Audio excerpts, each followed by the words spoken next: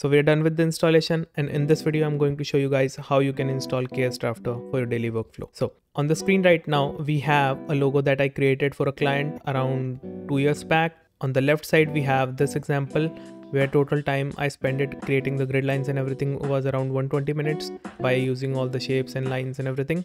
And on the right side we have an example that is created with KS Drafter in just a click. This is how much time saving KS Drafter can be.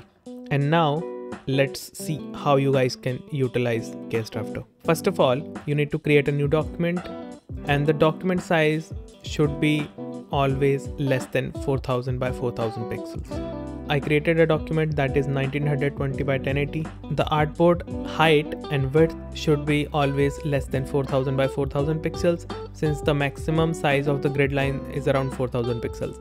After using the script, since it creates a vector, you can edit the grid lines, stroke, width, fill of the shapes and everything. Now we have an example on our screen. Always try to keep the size of the logo more than 300 by 300 pixel because we have fixed size for the shapes that creates on top of nodes. So I'm going to select the logo, I'm going to file, scripts and run KS Drafter. There are some extra lines created. Double click on clipping mask and delete all the extra lines that you don't want. So I'm refining it a bit and we are done. When you run the script, it creates a clipping mask based on the size of the artboard. You can double click on it and change the color and stroke size of the shape. Since it's creating a clipping mask, you can modify each and everything inside this. You can select the shapes and delete these or or you can change the color of these. So I'm going with dark black color and we are good. Now let's jump on some of the examples let's discuss some of the limitations. So on my screen right now, we have a word mark. Make sure this is grouped. Select the logo, go to file, run KS Drafter. And this is how the lines and everything are getting created. I don't want some of these, so I'm going to delete.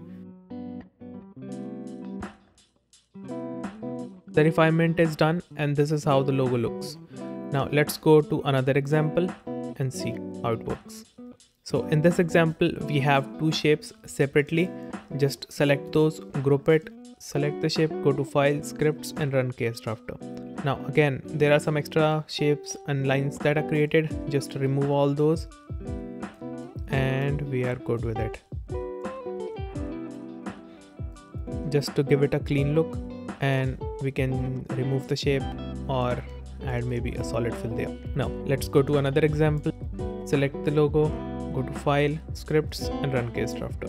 There are some of the lines that are extra getting created so i'm going to remove some of these by refining it. At the end this is a script so some manual work is actually required to refine everything. And i want one line here one here and the last one right on top of this node. And maybe one here. And we are good with it so this hardly took me around 20 to 25 seconds to do it. Now let's discuss some of the limitations that we have noticed. In this example, we have a logo text that is not actually created on grid. So if you see, we see the number of nodes and everything. These are too many. So if I try to run the script right now on this, this is how it's getting created. Don't try to use the script on top of a logo that is not created on a grid.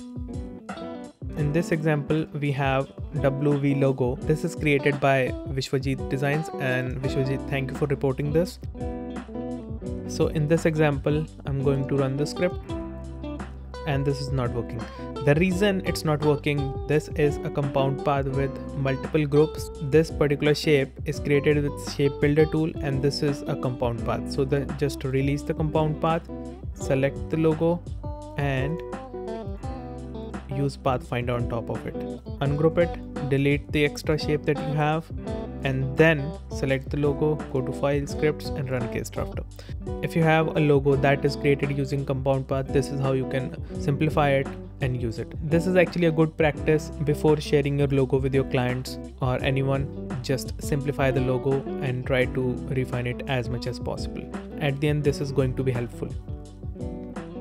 This is the last example. Select the logo, go to file scripts and run it and this is how you can use KS Drafter in your daily workflow.